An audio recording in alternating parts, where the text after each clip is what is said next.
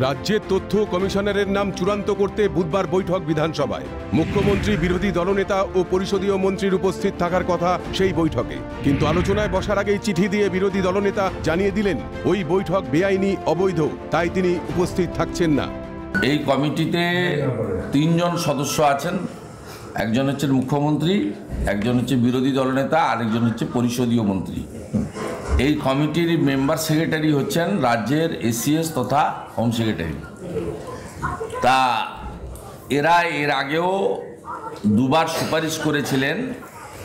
সেই দুটো সুপারিশই তদানীন্তন রাজ্যপাল মহোদয় আইনগত কারণে অনুমোদন দেননি এবং অবজেকশনটা আমার দিক থেকেই ছিল। লুকিয়ে চুরিয়ে এইসব সিলেকশন হয় না।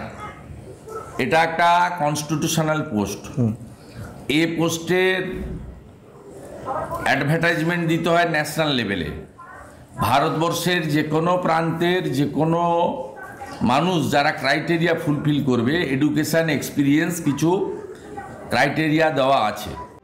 বিরোধী দলনেতার অভিযোগ যে যথাযথ, তা স্পষ্ট বোঝা যায় বৈঠক শেষে পরিষদীয় মন্ত্রীর বক্তব্যে। আলোচনায় মুখ্যমন্ত্রী প্রস্তাবিত নামই যে চূড়ান্ত হয়, তা স্বীকার করে নিলেন শোভনদেব চট্টোপাধ্যায়। মুখ্যমন্ত্রী প্রস্তাব করেন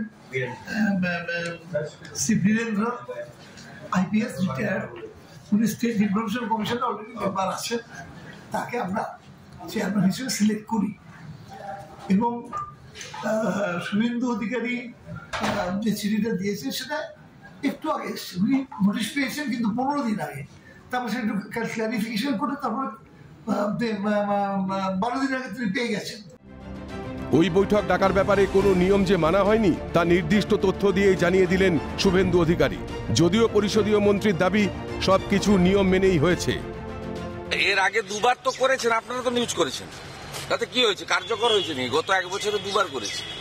এটা থার্ড টাইম এটা অবৈধ মিটিং এটা ন্যাশনাল অ্যাডভার্টাইজমেন্ট করতে হয়।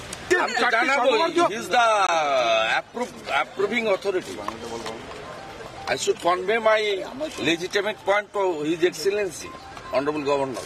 এর আগে তো দুবারই গভর্নর রিজেক্ট করেছেন মমতা ব্যানার্জির প্রপোজাল বিরোধী দলনেতা অনুপস্থিত ছিলেন এবং তিনি মানে চিঠি দিয়েছেন। সেই চিঠির মধ্যে কোনো মানে এমন কোনো যুক্তিসঙ্গত কারণ নেই যে সেটাকে আলোচনার স্তরে আনা দরকার। চিঠি পেয়েছি আমরা এই পর্যন্ত। শুভেন্দু অধিকারী জানিয়েছেন তিনি গোটা বিষয়টি রাজ্যপালকে জানাবেন। যার অর্থ নন্দিনী চক্রবর্তীর পর আবারও নতুন একটি সংঘাতের সম্ভাবনা তৈরি হতে চলেছে দুপক্ষের মধ্যে।